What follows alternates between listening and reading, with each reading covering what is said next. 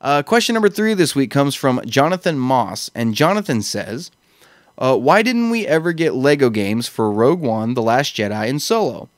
The game for The Force Awakens was absolutely amazing, and I feel like the films since then would have lent themselves well to being told in that format." What do you think? Keep doing what you're doing. Thanks for the question, Jonathan.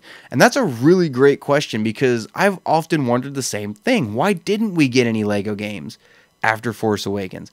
You know, they're they've been doing these other games. They've been doing the DC villains. They've been doing Incredibles. They've got this whole other slate of games they've been doing.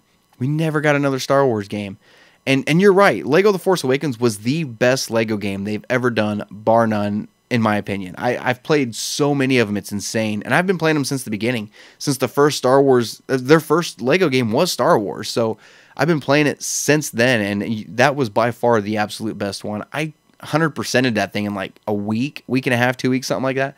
And uh, yeah, no, I, I'm really curious why they never did it. Because to be honest, I don't know. I, I, have no idea that, that you've stumped me. I, unless it has something to do with licensing for video games, you know, going to EA, but they were doing Battlefront before the Force Awakens Lego game came out. So it's a great question. I have no idea. Um, but I would have really liked to see a Lego game of Rogue One. And I think Solo would have been, a good one. But look, as much as I like The Last Jedi, because I'm one of those people, you can lynch me for it, let me have it. As much as I like Last Jedi, that movie would not have, in my opinion, would not have lent itself very well to a Lego game. I, I don't think not enough happened in it. You know, not, don't get me wrong. I, I did like Last Jedi, but not enough happened in it that you could make, you know, eight or nine good, solid Lego environment levels out of.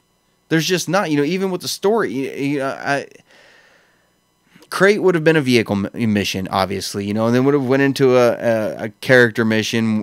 But it's just, what would what would the levels be on Ahch-To?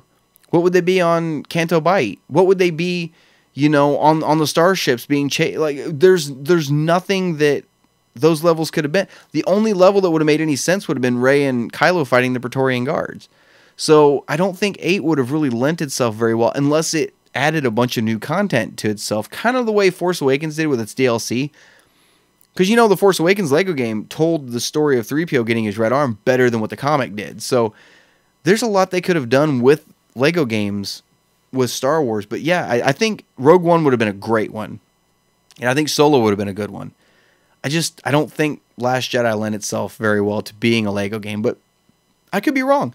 They might come out tomorrow and announce that they're doing a trilogy of those three games for all I know. So, uh, but yeah, no, it's it's it's a really good question because The Force Awakens was a really good Lego game. But uh, I'm just gonna chalk it up as to they're really busy doing other games at this point, or the video game license got you know there was an issue with them releasing the game and and and whatnot. It's just I I, I it's a it's a great question. It it really is. I think you've kind of stumped me on that one. So I'm sorry I can't answer it fully, but that's a really good question. So thanks for sending it in, though. Uh, once in a while, I need somebody to make me think because I don't think a whole lot. Uh, thanks for the question, Jonathan.